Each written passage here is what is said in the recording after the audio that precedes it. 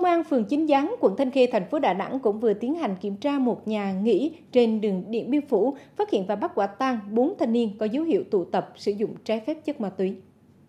Các thanh niên gồm Nguyễn Văn Huy, Đỗ Văn Hiền, Phan Thanh Tuấn và Phan Ngọc Tiến cùng trú quận Thanh Khê. Vào thời điểm kiểm tra, công an phường thu giữ tại phòng một gói ni lông chứa tinh thể màu trắng và một số dụng cụ dùng để sử dụng ma túy. Tại cơ quan công an, các đối tượng thừa nhận sau giờ làm nảy sinh ý định góp tiền cho Tiến nhờ mua ma túy đem về khách sạn để bay lắc. Qua test nhanh, cả bốn đối tượng đều dương tính với chất ma túy. Hiện vụ việc đã được lập biên bản để xử lý theo đúng quy định của pháp luật.